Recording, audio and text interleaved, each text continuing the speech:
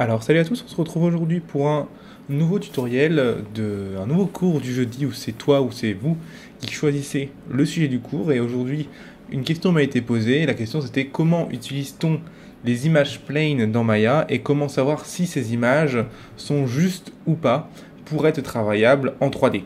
Donc déjà qu'est-ce qu'une image plane, à quoi ça sert? Et eh bien tout simplement une image plane c'est ce que vous voyez ici en fait. Alors on aura plutôt tendance à appeler ça un model sheet puisque une image plane peut vouloir dire tout et n'importe quoi, mais c'est pour ça qu'on va l'utiliser. En fait, une référence de modélisation de face, de profil et de trois quarts. Euh, si vous avez de la chance, et si vous avez encore plus de chance, vous avez même une vue de dessus. Alors qu'il faut savoir qu'il y a plusieurs types de model sheet, donc maintenant on va dorénavant les appeler comme ça. Euh, il y en a qui sont bons, dans le sens qu'ils sont euh, bons pour être travaillés en 3D. Il y en a qui sont faux parce qu'on utilise des raccourcis en dessin qui ne sont pas valables dans les, dans les, dans les créations de volume dans votre logiciel 3D. On va voir ensemble un petit peu, j'ai sélectionné quelques modèles sheets sur internet pour voir ceux qui sont entre guillemets euh, bons et ceux qui ne sont pas bons et comme ça voir un petit peu comment éviter les erreurs en 3D derrière. Alors je tiens à préciser juste avant de commencer euh, la critique de ces, de ces modèles sheets qu'un model sheet peut très bien aussi être euh, d'un véhicule ou euh, de n'importe quel autre objet. Euh, ce n'est pas, forcément un personnage. Allez, on y va. Alors, le premier model sheet que j'ai trouvé sur Internet ici comporte quelques erreurs dans le sens où le personnage est bon, mais malheureusement, on a ici une vue de face qui est fausse dans le sens où ses pieds ne sont pas de face.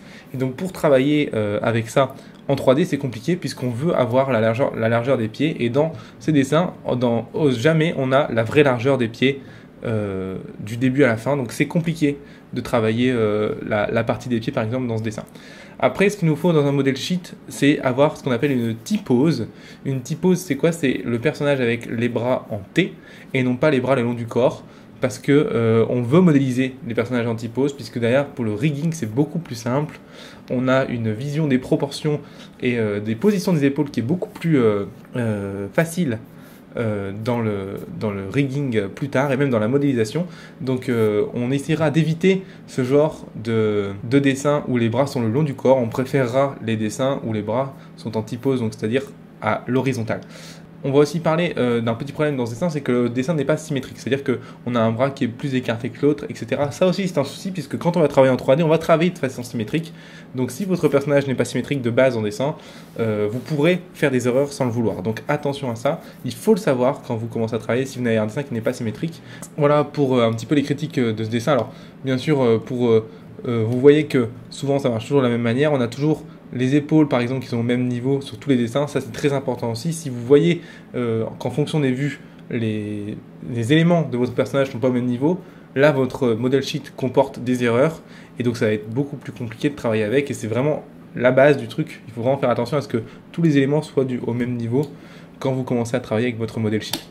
Allez, voici un autre euh, model sheet qui est un petit peu plus intéressant que le premier dans le sens où là, on a bien une vue de face, de profil et de dos, donc comme on avait tout à l'heure, mais on a une vraie vue de face et une vraie vue de dos dans le sens où les pieds sont vraiment de face et là on a vraiment la largeur des pieds euh, réels. On n'a pas euh, ces pieds là en canard.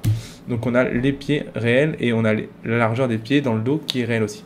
On a aussi, comme vous pouvez le voir là, un personnage qui est en typose, donc beaucoup plus pratique. On voit, on distingue beaucoup plus facilement les épaules et pour modéliser et pour riguer. Donc le seul truc qui manquerait peut-être dans ce modèle sheet, c'est une vue du dessus pour avoir euh, un petit peu les courbures de son bassin et de son visage qu'on ne peut pas avoir sur ce modèle ici et qu'on va devoir interpréter en 3D.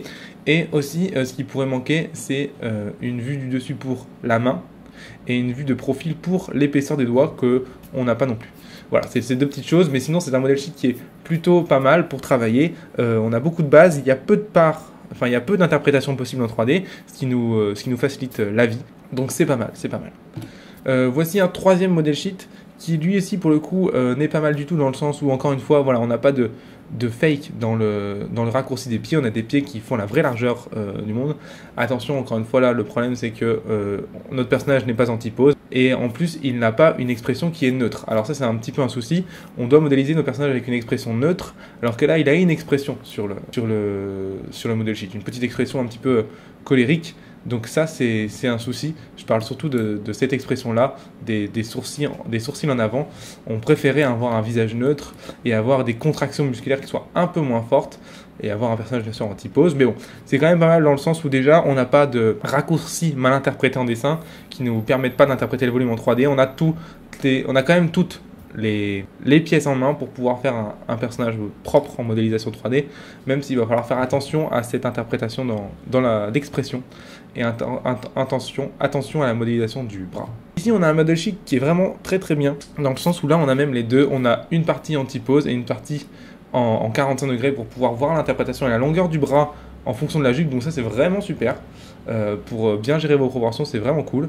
Euh, ce qui pourrait juste manquer, encore une fois, et ça, ça arrive souvent dans les modèles sheets, c'est une vue du dessus. Ce serait vraiment le, top top. Mais ça, c'est vraiment un très bon modèle sheet dans le sens où on va pouvoir modéliser la partie gauche et après faire la partie droite et regarder si, par exemple, la proportion de notre bras est bonne en fonction de la jupe. Ceci est un très très bon modèle sheet. En tout cas, c'est une très bonne base pour travailler. Euh, on a beaucoup d'informations, on a peu de part, encore une fois, l'interprétation. Encore une fois, la seule chose qui manquerait, ce serait une vue du dessus. Alors, le dernier modèle sheet ici que j'ai trouvé assez amusant, euh, de ce petit dinosaure, qui est pas trop mal dans le sens, encore une fois, où on a peu de part à l'interprétation au niveau des pieds, où on n'a pas de, de, triche, les pieds sont bien droits, sont bien euh, dessinés en raccourci, donc ça c'est très bien. La seule chose que je pourrais peut-être un petit peu critiquer sur ce modèle sheet et où il faudrait faire attention si vous le modélisez, c'est au niveau de la position des bras, puisque en vue de face, on ne voit pas où sont les bras. Alors je, devine que c'est peut-être ce petit trait ici, mais je ne suis pas sûr. Donc là, je pense que c'est une interprétation qu'il faudra faire en trois dimensions si vous voulez faire, par exemple, ce personnage. Alors on va voir ensemble comment faire un image plane, par exemple, d'un personnage, et on va reprendre euh, le meilleur modèle sheet que j'ai euh, trouvé, je pense pour moi, c'est euh, celui-là le plus détaillé, et c'est celui-là qui met en plus, le plus en valeur les volumes du personnage, dans le sens où il est ombré, alors qu'on aurait pu prendre celui-là aussi qui est très bien, mais comme il met moins en valeur les volumes du personnage, on va prendre celui-là, mais après euh, c'est vraiment qui tout double. Et on va ouvrir euh, cette image dans un logiciel euh, d'image comme Photoshop, GIMP ou ce que vous voulez. Donc notre euh, image est ouverte dans un, logiciel d'image et on va venir découper l'image en trois parties en vue de face, profil et dos. On ne va pas s'occuper des expressions et des détails maintenant. Euh, ce qui nous importe pour l'instant pour la modélisation d'un personnage avec des images planes dans Maya, c'est surtout ces trois vues là. Alors on va faire tout simplement euh, trois images différentes pour pouvoir mettre ces trois images distinctes dans Maya. Donc pour ça, on va venir bah, faire un crop, hein, rien de vraiment incroyable jusque-là. Pour ceux qui ne connaissent pas Photoshop vite fait, euh, on fait une sélection, on va dans Image ici, et on fait Crop, hop, voilà, on fait un CTRL SHIFT S pour enregistrer sous. Donc on se retrouve dans Maya euh, maintenant, et on se retrouve avec notre scène vierge, et donc déjà la première chose c'est de savoir comment importer ces images dans la 3D. Vous allez dans View ici, et vous avez Image Plane, ici vous faites Import Image.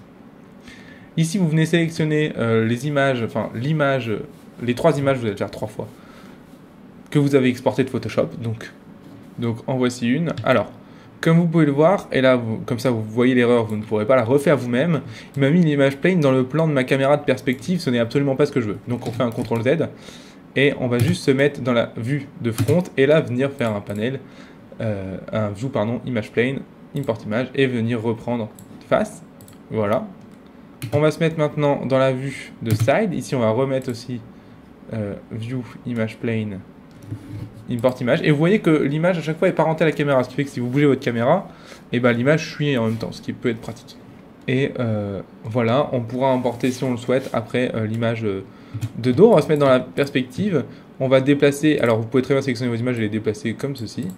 Pour pas qu'elles se croisent ça peut être mieux plus pratique. Voilà. Vous avez vos images en référence donc comme ceci et vous pouvez très bien maintenant commencer à modéliser dessus. Alors, la première chose à faire attention, c'est de bien vérifier déjà que vos images sont à la même échelle. Alors pour le coup, là, moi, elles m'ont l'air bien, parce que euh, c'est le crop de Photoshop et ça vient de l'image. Mais si, imaginons, vos images ne sont pas à la même échelle, faites attention à ce qu'elles fassent la même taille euh, au niveau de, du personnage. C'est-à-dire que si je les mets, euh, si je les croise comme ça, il faut que mes personnages soient de, de la même taille. Quoi. Je veux dire, sinon c'est vraiment ridicule ça m'a l'air pas trop mal, même si là, euh, elle me paraît un peu plus petite que...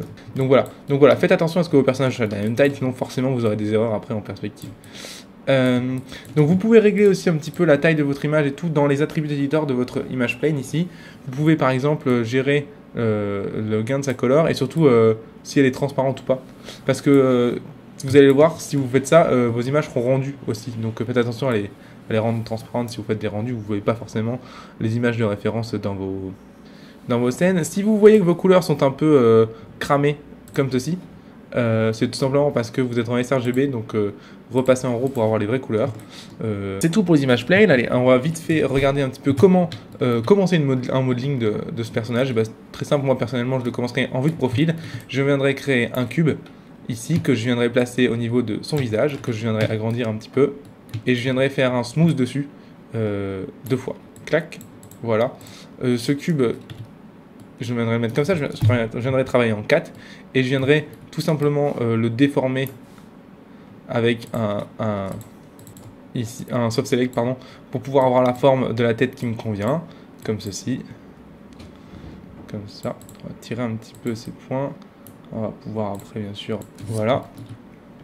Donc on a, euh, on va dire après la forme de la tête, et puis voilà, on va venir après continuer à sculpter comme ça doucement euh, notre personnage en rajoutant euh, nos morceaux ou en faisant des extrudes comme vous le souhaitez pour avoir chaque partie du visage. une fois que par exemple vous avez fait, vous êtes content de votre low poly side, alors là pour le coup c'est pas bon, hein, c'est pas terrible terrible, c'est très léger, on pourrait rajouter un petit peu de topo etc. Mais voilà, vous pouvez repasser maintenant en vue de face et puis faire la même chose. Donc c'est-à-dire venir prendre votre vertex et hop, on va venir, clac. Là, on va venir le mettre bien au centre du visage. Hop. Et on va venir euh, modifier un petit peu tout ça. Alors, on va travailler du côté gauche, puisqu'après on va faire une symétrie si vous le souhaitez. Donc, vous travaillez que du côté gauche. Le côté droit, vous en foutez un petit peu. Et puis après, euh, vous supprimez tout en fait. Vous faites comme ceci. Hop, clac. Vous supprimez. Et puis après, il vous suffit de faire une, symétrie de, ça. Donc c'est tout con. Hein. Vous prenez votre objet et vous faites euh, mesh, mirror géométrie. Vous le faites sur l'axe euh, moins x, plus x, pardon. Et euh, vous venez gérer le merge threshold pour que votre objet soit pile euh, ça va pouvoir euh, ça va ça va merger les points en fait. Et voilà, vous avez euh, une première version entre guillemets du visage low poly de votre personnage. Et maintenant, il va falloir interpréter malheureusement le dessus du personnage pour avoir un petit peu le volume des yeux, etc. qu'on n'a pas ici, qu'on n'a pas sur les visages du profil et de face. Et c'est souvent ce qu'il faut interpréter en, 3D, c'est les joues et les yeux. Donc voilà, c'est la fin de ce tutoriel. maintenant, vous savez comment utiliser les images planes dans Maya, comment euh, reconnaître un bon modèle sheet d'un mauvais modèle sheet et comment euh, savoir les erreurs à éviter euh, au niveau des proportions qui sont fakées. Donc pensez toujours en volume, pensez bien, enfin regardez bien si votre modèle sheet n'a pas fait des raccourcis qui sont faux et qui marchent en dessin mais pas en 3D. Et puis dans tous les cas, moi je vous dis bon courage, je vous dis à bientôt pour un nouveau tutoriel et je vous dis salut.